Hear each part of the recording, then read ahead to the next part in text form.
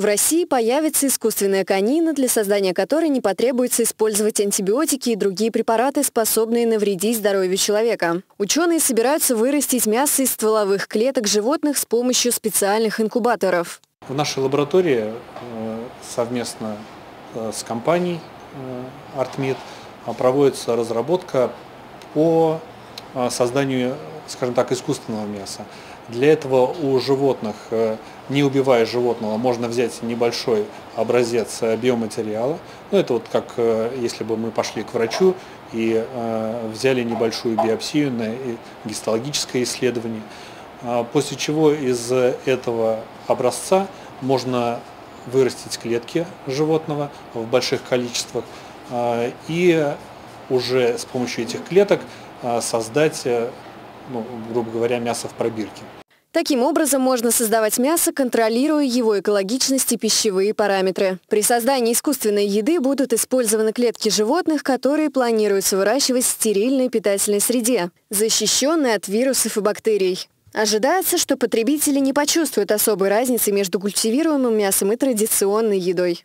Мы планируем не просто, например, выращивать клетки мяса, то есть вот мышечные клетки. А дело в том, что для того, чтобы воспроизвести структуру и вкус мяса, необходимы и другие клетки. Это и жировые клетки, и соединительные ткани клетки, то есть вот, условно говоря, и э, там прожилки, и хрящи. И Э, наша задача именно разработать э, технологию, как э, совмещая разные типы клеток, добиться максимального соответствия естественному варианту.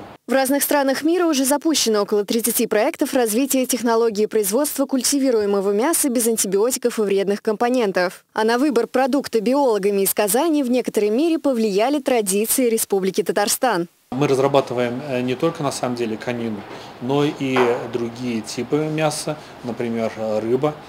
А почему конина? Потому что, э, ну, во-первых, этот сегмент пока еще не занят на мировом э, рынке по разработке, скажем так, искусственного мяса.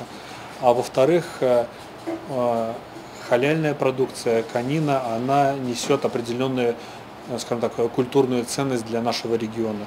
И мы надеемся, что подобного рода продукция будет востребована не только в Татарстане и в России, но и в других частях света.